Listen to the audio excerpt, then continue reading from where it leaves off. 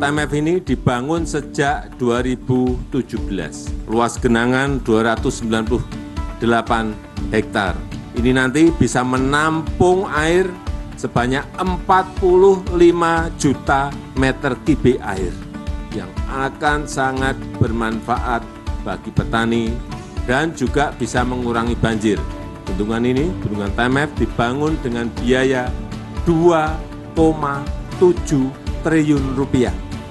Jadi Pak Bupati, manfaatkan betul bendungan TMF ini untuk kemakmuran, untuk kesejahteraan rakyat kita di Timur Tengah Selatan dan juga masyarakat sekitar.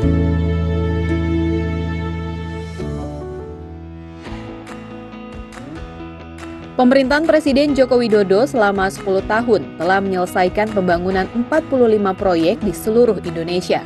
Dalam program khusus Legacy Satu Dekade Jokowi untuk Indonesia, Asisten Deputi Infrastruktur Dasar Perkotaan dan Sumber Daya Air, Kementerian Koordinator Bidang Kemaritiman dan Investasi, Lukianto berharap pemerintah Prabowo Gibran dapat melanjutkan pembangunan infrastruktur yang dilakukan Joko Widodo.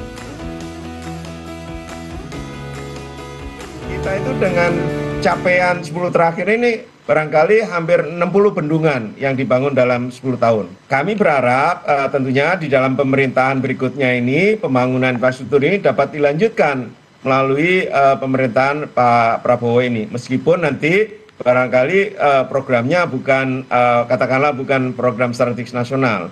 Nah, pemerintah baru diharapkan dapat melanjutkan mulai dari transportasi publik, infrastruktur digital, pengembangan energi terbarukan, termasuk eh, pembangunan wilayah yang terpencil, Bu.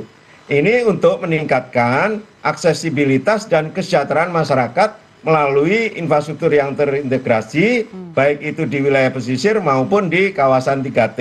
Hmm. Nah, okay. yang bisa dilakukan adalah bagaimana melalui pembangunan infrastruktur, yaitu uh, yang sudah dilakukan, yaitu pembangunan infrastruktur melalui uh, nature burst solution. Ini adalah bisa dilakukan, Mbak nyaman, membantu masyarakat, terutama untuk ini. Terima kasih buat Pak Jokowi, buat semuanya gitu. Terus semoga lebih lancar lagi.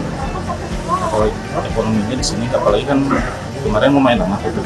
Jadi mulai awal lagi gitu.